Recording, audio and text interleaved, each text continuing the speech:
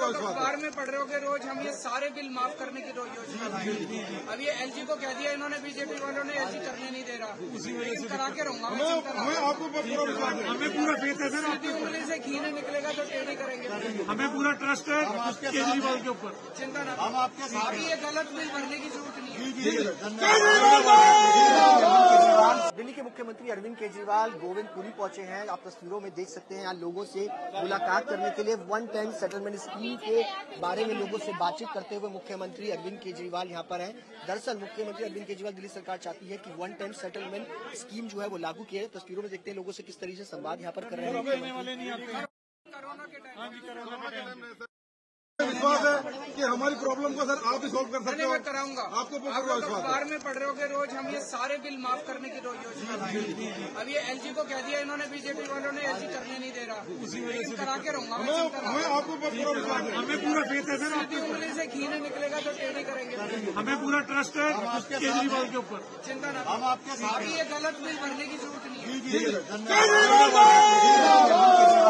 तौर पर निशाना बीजेपी और दिल्ली के उपराज्यपाल पर यहाँ पर साधते हुए नज़र आ रहे हैं। मुख्यमंत्री कालका जी पहुँचे हैं गोविंद इलाके में जहाँ लोगों से संवाद कर रहे थे बिलों को लेकर के और साफ़ तौर पर उनको कहना है कि one time settlement bill corona के टाइम पर जिन लोगों के अनाप शनाप बिल आए हैं लाखों उनको सेटलमेंट जो है वो किया जाए उसको कम किया जाए। इसी को लेकर के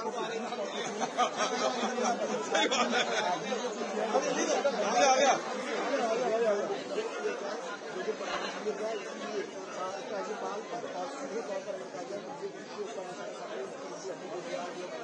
तस्वीरों में देख सकते हैं कि कैसे मुख्यमंत्री अरविंद केजरीवाल जो है प्रधानमंत्री से संवाद करने हुए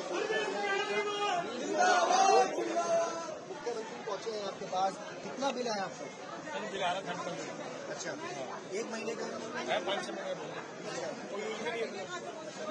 सेटलमेंट कह कह रहे हैं कि वन टाइम में सेटलमेंट आपको लगता है कि ये स्कीम बेहतर है? आपको राहत मिलेगी। राहत मिलेगी सर सर ये देखिए आप ये कैमरे से तो देखिए सर क्या करें बताइए? इधर जूम आ रही है इधर सर तिहत्तर हज़ार है। बताइए क्या करें? कब का बिल है ये? अरे सर अभी सात महीने पहले मैंने जमा कराया है बिल तेईस हज़ार का अब बताइए ये क्या कर रहे हैं? रीडिंग लेने कोई आता नहीं रीडिंग लेने कोई आता कोई कोरोना के बाद आया कई हज़ार बिल मैंने कहा कोरोना है कोई बात नहीं तेईस हज़ार मैंने बिल भर दिया ठीक है जी अब जो आ रहे हैं प्रशासन की चूड़ी थोड़ी टाइट करनी चाहिए थोड़ी प्रशासन की चूड़ी टाइट करेंगे वर्किंग वाले हैं वो वर्किंग करेंगे तभी तो मिल आएगा ढंग से। रीडिंग लेने तो कोई आता नहीं। लगता है कि राहत मिलेगी मुख्यमंत्री जो है हमारा बिजली का बिल बिजली का बिल सर बहुत कम आता है। ज़ीरो ज़ीरो आता है बिजली का बिल। कसम से जाना ज़ीरो आता है।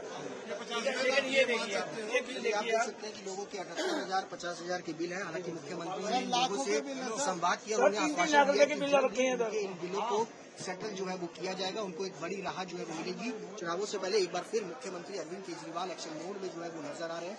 उन्होंने सड़कों पे जनता के बीच जाकर के संवाद कर रहे हैं, ताकि लोगों को राहत जो है वो मिल सके। लेकिन इस पूरे संवाद के बीच मुख्यमंत्री अरविंद केजरीवाल बीजेपी और को पर निशाना साधते नज़र आए।